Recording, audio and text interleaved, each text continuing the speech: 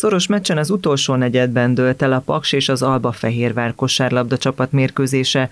A végig kiélezett meccsen még az utolsó negyedben is vezettek a fehérváriak, végül azonban 7 ponttal 92-85-re a házigazda atomerőmű győzött a Magyar Bajnokság második fordulójában. Az elején nem kezdtünk a legjobban, és a végén elfogyott a koncentráció, szóval ezt a kettőt most mindenképpen erősíteni kéne. Krivacsevics Márkó az Alba kosarasa úgy fogalmazott, a Paksi csapat ellen összességében jól játszottak, de sok hibával, ami végül megbosszulta magát. Azt tudjuk, hogy nagyon fizikálisak, és e, e, ez ellen a csapat ellen tényleg 40 percen keresztül kelleni fog ez a koncentráció, amit az előző meccsen nem tudtunk hozni, de szerintem ez az energia mindenképpen jönni fog a hazai pályával és a közönséggel, akik buzdítani fognak minket.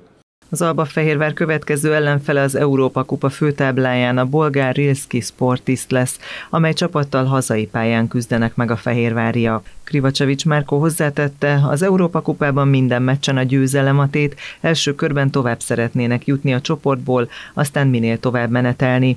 Az Alba Fehérvár Rilski Sportist összecsapás szerdán 18 órakor kezdődik az Alba Régia sportcsarnokban.